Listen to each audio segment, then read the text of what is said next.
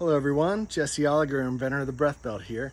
Um, I just wanted to let everybody know that the time has come. It's been about a year of uh, prototyping, but we finally have the smaller version coming in a couple months. So um, my goal is to get it here by Black Friday. I'm gonna be offering a pre-sale uh, up top in the link in bio, and we're also going to be sending email blast out. You know, we probably have uh, pretty close to 3,000 customers that have requested a smaller size, and um, you know, you asked, I listened, and um, and I'm so excited to get it here. In addition, um, we've had so many requests from like the high school population, triathlete, and of course females. And I really want to come and and uh, and just smaller hips in general. And I really want to have a better uh, option. So I'm going to be calling it the uh, Breath Belt Go. It's going to be at a lower price point, and um, the, the traditional Breath Belt is going to be six and a half inches.